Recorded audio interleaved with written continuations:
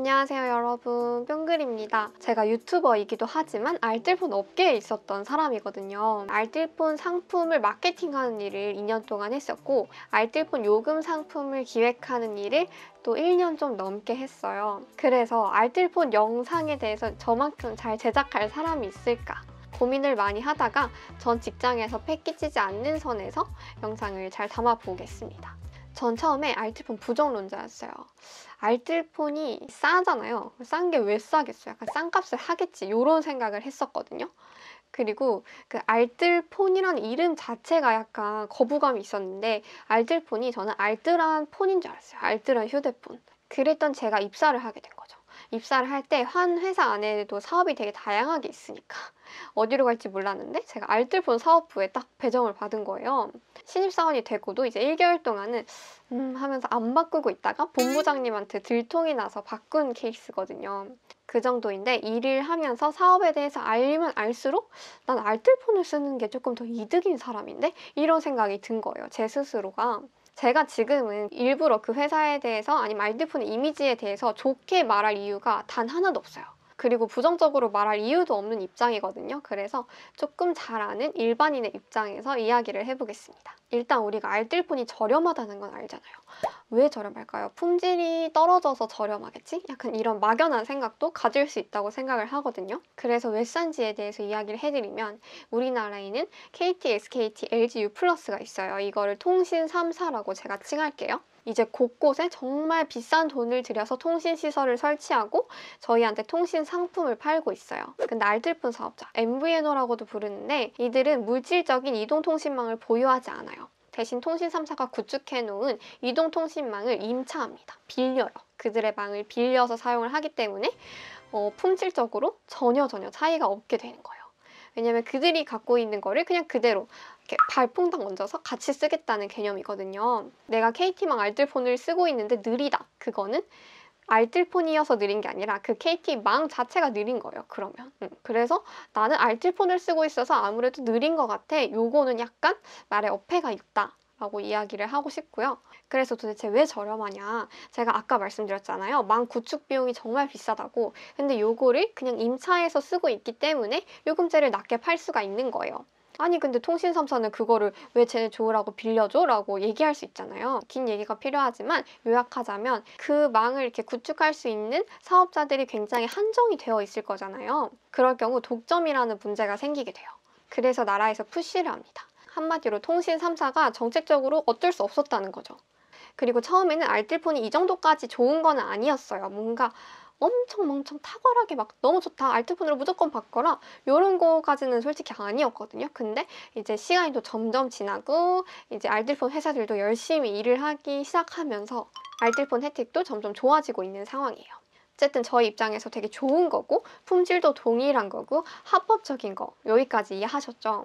그러면 가격 말고는 혜택이 없을까? 이거는 반은 맞고 반은 틀렸어요 우선 멤버십 없어요 통신망을 빌렸을 뿐이지 같은 회사라고 보시면 안 되거든요. 그래서 알뜰폰으로 옮겨오시면 이통 3사에서 받던 멤버십 혜택은 받을 수가 없어요. 그리고 솔직히 멤버십이 있어도 그 혜택을 다 쓰는 분들은 별로 없을 거예요. 뭐 영화권, 커피권 뭐 이런 거 나오잖아요. 솔직히 이제 그거를 멤버십 안 쓰고 알뜰폰 쓴 다음에 현금으로 그거를 알아서 내 돈으로 해서 먹는 게 훨씬 더 저렴할 확률이 높습니다. 알뜰폰이 원래 통신비 정도만 좀 절약해서 싸게 쓰는 거였는데 요즘은 또 사은품도 기깔 나게 챙겨줘요. 전 진짜 너무 놀랐잖아요. 너무너무 잘 챙겨줘가지고 알뜰폰 회사들도 이제 고객들이 아 알뜰폰에 멤버십이 없어 이래서 불만을 갖고 있는 걸 잘 알거든요.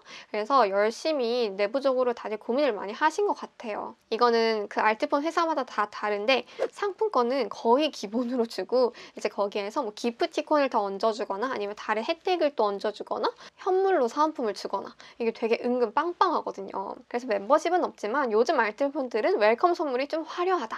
그리고 제가 생각하는 알뜰폰의 진짜 좋은 장점이 뭐니 뭐니 해도 약정이 없다라고 생각을 하거든요. 물론 알뜰폰 회사들이 이제 휴대폰이랑 약정 요금제를 이렇게 붙여가지고 통신 3사처럼 판매하기도 해요. 근데 그 유심의 혜택, 가격적인 혜택이 정말 정말 좋은 편이에요. 그래서 저는 유심 요금제 기준으로만 말씀드릴 거고 많은 분들도 아마 이제 알뜰폰 하면은 유심 요금제 이렇게 생각을 하실 거예요. 우리가 통신 3사에서 휴대폰을 딱 구매하면은 바로 이제 2년 약정이 묶여버리죠. 우리가 할인을 해줄 테니까 너네는 2년 동안 우리 걸 써라 약간 이런 개념으로 하는데 약정 기간 전에 우리가 해지를 하면 바로 위약금을 물게 되는 그런 구조잖아요. 근데 여기는 할인을 조금이 아니라 조금 많이 해주는데 언제든지 해지를 할 수 있다라는 장점이 있고 그게 아마 2편에 나오겠지만 정말 좋은 장점이에요. 물론 사은품 받고 그럼 튀면 되겠네 이런 나쁜 생각을 가지시면 안 돼요. 이제 그런 행위에 대해서는 유의사항에 잘 적혀져 있으니까 그걸 보시고 제가 말씀드리는 거는 요금적인 부분 말씀을 드리는 거예요. 뭐 3만 원의 할인을 받았는데